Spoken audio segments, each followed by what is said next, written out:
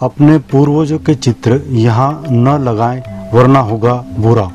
जानिए छह बातें। घर में अपने मृतकों के चित्र कहाँ लगाएँ और कहाँ नहीं लगाएँ, इस संबंध में वास्तुशास्त्र में स्पष्ट उल्लेख मिलता है। गलत स्थान पर चित्र लगाने का बुरा असर होता है। अतः अपने मृतकों या पूर्वजों के चित्र आप उचित स्थान पर ही लगाएँ। आओ जानते हैं कुछ खास छह बातें। पहली, यहाँ कभी न लगाएँ। पहली, कभी भी परिवार के मृत व्यक्तियों का चित्र देवी और देवताओं के साथ न लगाएँ या रखें। ऐसा करने से देवदोष लगता है। दूसरी, पूर्वजों के चित्र ब्रह्म स्थान में कभी नहीं लगाना चाहिए क्योंकि इससे मान सम्मान की हानि होती है। पश्चिम या दक्षिण में लगाने से संपत्ति की हानि होती है। तीसरी, मृतकों की तस्वीर घर में सभी जगह नहीं लगाना चाहिए। इसे शुभ नहीं माना जाता है, इससे तनाव बना रहता है। चौथी, यह भी कहा जाता है कि कभी भी मृत लोगों की तस्वीर जीवित लोगों के साथ न लगाएँ, इससे नकारात्मकता फैलती है।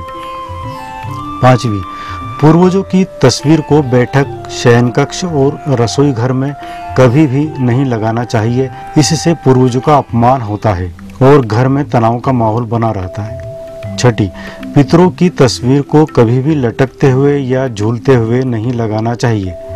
मान्यता है कि इससे व्यक्ति का जीवन भी लटकता और झूलता रहता है। यहाँ लगाएँ तस्वीर। पहली, कुछ वास्तुशास्त्रियों के अनुसार यदि घर में पूजा पाठ का स्थान ईशान कोण में है तो पितरों की तस्वीर को पूर्व में लगा सकते हैं। वहीं यदि पूजा स्थल पूर्व दिशा में हो तो तस्वीर ईशान में लगा सकते हैं। दूसरी, यदि पूजा घर से भिन्न किसी कमरे में पूर्वजों की तस्वीर लगा रहे हैं तो उत्तर दिशा की दीवार पर लगा सकते हैं, जिससे कि पूर्वजों का चेहरा दक्षिण की ओर रहेगा। तीसरी, हालाँकि हम आपको यहाँ सलाह देना चाहेंगे कि आप अपने पूर्वजों की तस्वीर घर की दक्षिण दीवार पर कोने में लगाएँ। अगर दक्षिण नहीं मिल पा रहा है तो आप पश्चिम के कोने में लगा सकते हैं। चौथा, घर के किसी एक ही स्थान पर ही पूर्वजों की तस्वीर लगाएँ। वह स्थान ऐसा होना चाहिए जो कि दिशा दोष से मुक्त हो।